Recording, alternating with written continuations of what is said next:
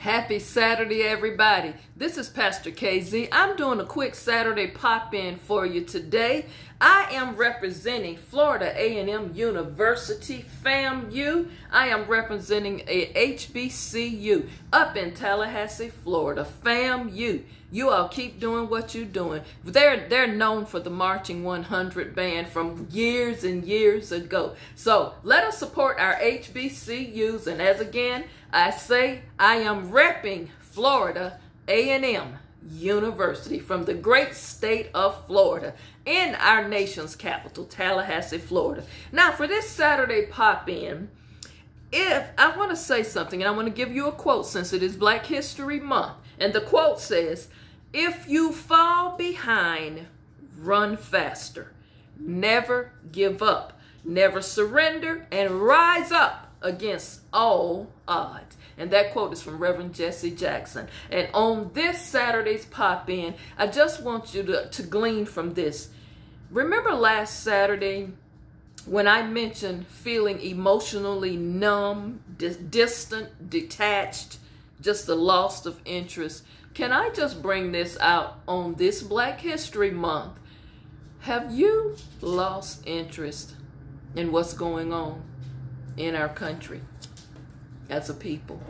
Have you just lost interest? Do you feel like you don't matter? Your vote don't count? It doesn't matter what we go to the polls and vote on. They're going to do it the way they want to do it. Have you lost interest in our society? Our culture has been shaken to the core.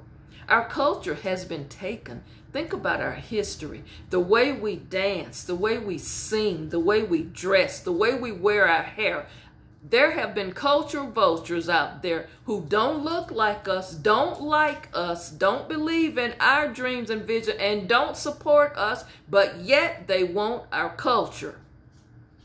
Nobody want to say nothing. I have subscribers of all ethnicities from all over the world. I have subscribers from the UK, from the continent of Africa. I have subscribers from China, all over. And this is no knock on you all because I got nothing but love for everybody. But since it is African Heritage Month, I'm going to talk about some, some very difficult things that you might feel uneasy with hearing, but it is the truth. Our history is important. We matter. When we say Black Lives Matter, that is not to say all lives don't matter. That is not what we were saying. All we wanted to do was to be heard, to be recognized, to be validated that we matter also. We are a forgotten group of people who are overlooked, underappreciated, just denounced, mistreated, mishandled, and all we are saying is we matter also. So when brother when Reverend Jesse Jackson say never give up, never surrender, and and sometimes that is hard for you to do when you constantly feel that someone is suppressing you or oppressing you.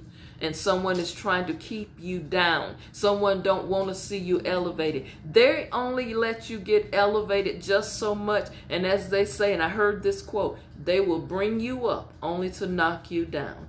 Now you look at a lot of people in the entertainment business and the entertainment field. You all saw the oscar slap last year with will smith and chris rock you saw that. That was nothing but a way to humiliate both brothers. You all have seen what has happened to, to, to Bill Cosby, and the list goes on and on. But you know what? Why are these people not given second chances when you hear about so many other people? Roman Polanski, I'm going to say his name. This man was a pedophile. This man killed people. This man did a lot of horrific things, but they still gave him a second chance and still gave him an Oscar. You know, you got the Mel Gibsons of the world, had one of the most highest ranked movies ever in The Passion of the Christ that many races went and supported, and he literally cut down other races of people. You got to understand when Jesse, Reverend Jesse Jackson says, never give up, keep running, keep rising up. We have to keep doing this. Why do we have to fight for everything we get? Why do we have to literally go to the bank and beg for a loan? Why do we have to have three times the income just to get an apartment? Why do the closing costs cost so much for our people? Y'all don't look at that. You go walk into the credit union and ask for a loan. Sometimes you ask for less than five grand and they want to rake you through the crows with the credit scores and all this. Good credit, good credit. When you know somebody just walked in there with a 420 credit score and they just got a $25,000 loan. I've seen it happen, people. I've seen it happen. Because somebody in the bank knew somebody else and it was somebody else's uncle and the paperwork got signed Mm. Y'all don't want to talk about it because it's the truth. But on this Saturday pop in, I want y'all to open your mind, get refocused, people. Understand we as a people matter. This world, it, it, it's not our home. Thank God there's a better place than this world for those of us who believe in that. Some of you don't, and that's okay still. I got love for you. But all I'm saying is we need to rise up, as Reverend Jesse Jackson say. But how you rise up is clearly up to you. Have a wonderful Saturday, and I will see you back for a word for today on tomorrow. Remember, please hit the thumbs up button, like the video, share the video, and comment. All this month, I am going to be talking about Black history. I'm going to be repping some HBCUs. So keep keep keep hope alive, as Reverend Jesse Jackson always say. Things are not that bad. We have come a long ways, but y'all, we got a long way to go. And in some aspects, we have regressed as a people. We got to do better. And that would be my thing for the whole month. We got to do better as a people. Stop waiting for somebody to come in and rescue you and save you. We need to pull ourselves up, as Brother George Washington Carver say, by our bootstraps. And we got to go get it out the mud ourselves because they, they're not going to give it to us. Everything we get, we have to earn it.